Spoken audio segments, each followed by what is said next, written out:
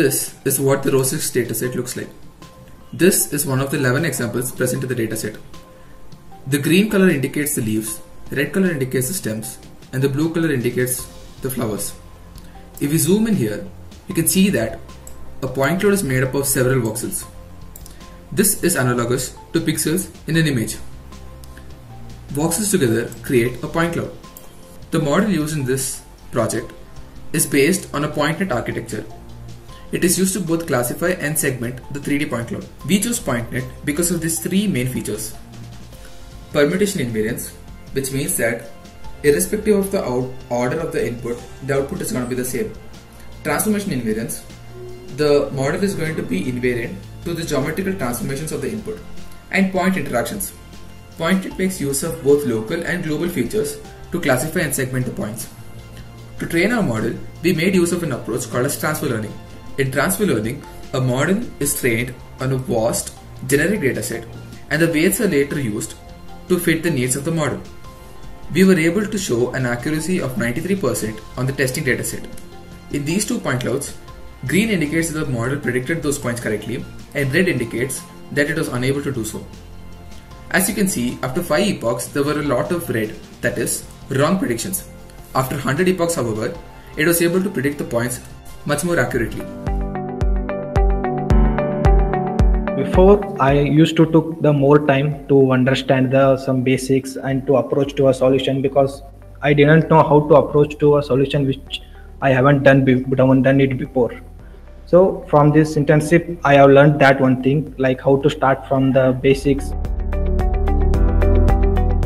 I learned how to work with tougher, uh, you know, more crude APIs and sort of get the job done uh, to the same extent as to what it would have worked with, you know, more refined APIs and so on. So, which means the effort from my side was a lot more compared to what I would have put in when it's a refined API. I learned to you know work in a team i learned to uh, you know make logs about whatever i did uh, that was something i never did you know before uh, and that's something i plan to use in the future it's given me an introduction to uh, channeling that attitude where you say never say no to something. Where you have to make a stride in a positive direction where something does not exist and you'll have to just bring it out of nowhere. It gives you hints and pushes you in the right direction but does not give you a ready-made solution. So you're motivated to think but you're also thinking in the right directions. You're not losing track of problem at hand currently i am going through like this placement process so when they ask like do you what experience do you have or like uh, what, what knowledge or have you like, proven your skills in something so uh, this internship that i've gone through is a nice reference point to uh, like how I have put my skills to use or the other non-technical skills that I have and like the experiences that I have had in working in the industry. One of the talks given was by a mom called as Vandana Shiva. Uh, I actually had a chapter in my English to read about her, and it was a great experience to actually see her live uh, and like ask any question that you want. So th- that that was amazing for me this internship and the competition as a whole is a great experience, irrespective of what place you end up in. Uh, it's something that everyone should try for because the you get to work with like people, great people and great talent all across India, and uh, you get to like access to such uh, rare events. I heard uh, experiences from my other friends who worked in other internships.